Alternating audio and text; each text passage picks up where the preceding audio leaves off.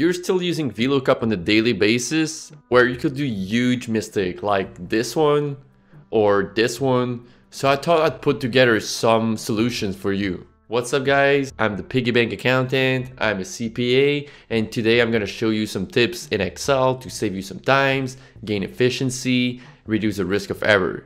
Watching this video, you probably know about VLOOKUP already, but I'm gonna show you why you should not use VLOOKUP anymore. If you don't know about VLOOKUP, then it's super good because you won't be you won't need to change that bad habit. And now Excel released already a few years ago the XLOOKUP formula, uh, but it's not very well known. So I'm gonna do two example here uh, with VLOOKUP and XLOOKUP. So let's suppose I want to know my potatoes are sold in which country. I can use the VLOOKUP and go like this. I select my columns, I say second column and I go false so they don't uh, bring up some matches that are nearby and boom, it gives me the country A, right? So that works. And then I can just drag down my formula and it's to give me product 150 is in Argentina, right? Basically, XLOOKUP is exactly the same. It's just that it's to save you a lot of headache. It's way better designed and uh, I'm gonna show you here real quick. So what it does is the XLOOKUP formula is basically the same. So you're gonna enter your lookup values. So I want to look for my potato. I want to look the array. So where should we find the potato? It's in the column E right here. And then give me the return array. So I want you to give me back the country right? Uh, and then I just need, I don't need the other uh, parameters here. And then I just close the parentheses, boom, and I have the same results, right? Super easy. So now you're like, okay, why is he showing me that?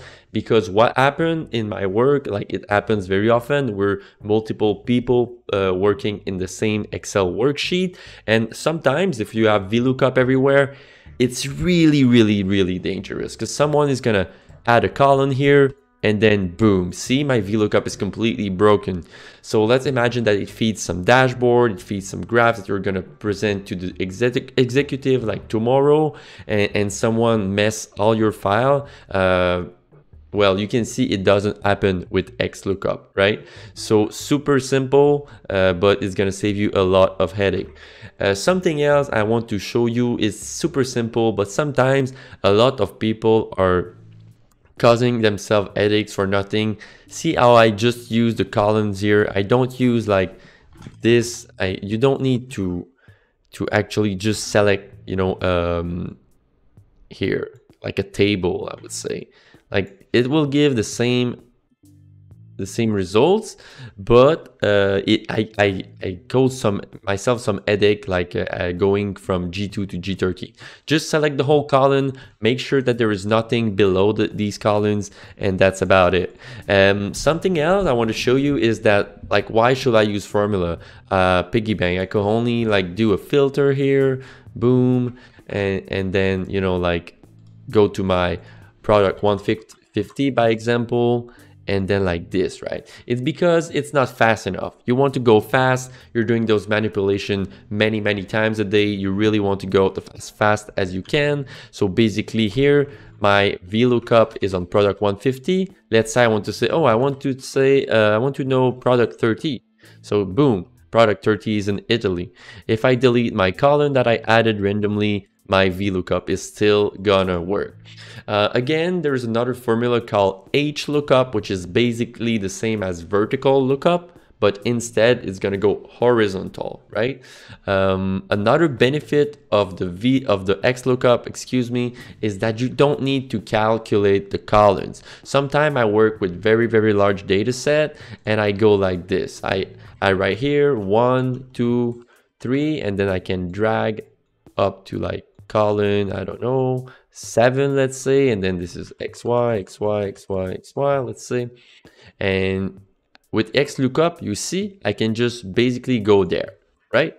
With VLOOKUP, I have to put, oh, tell me which column you want, like column index number here. So it's kind of it's kind of lame sometimes. It's kind of annoying to count. Like if you have 26 columns, 29 columns, Another reason why you want to use XLOOKUP instead of VLOOKUP is that sometimes your data is just not in the right order for you to perform your calculation or analysis.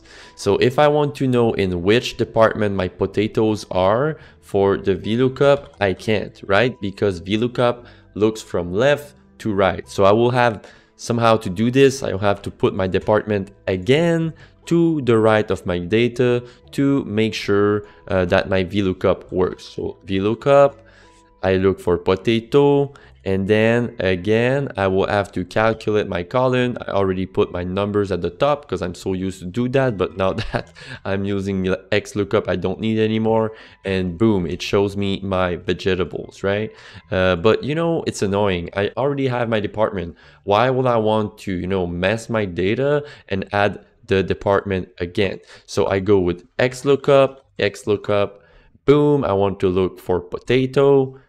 In this column, the potato is there and I want to receive the department. I select the column, boom, vegetables. I didn't need to alter my data at all. See you guys soon for another video in Excel. I spend my life in Excel. Jesus, this is sad, but so fun at the same time. Peace!